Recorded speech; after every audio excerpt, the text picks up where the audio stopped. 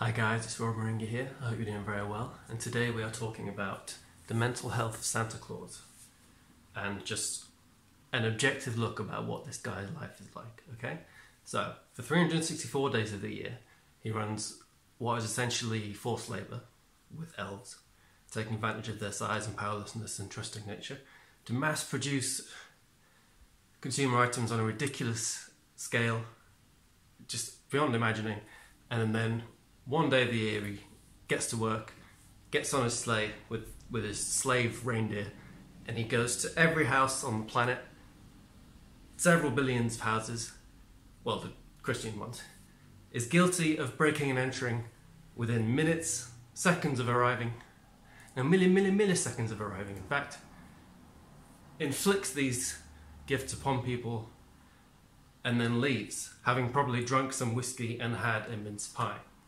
And then he works so hard in this one night that one would like to think that he doesn't take out the intense stress of the job on the elves and indeed Mrs. Claus.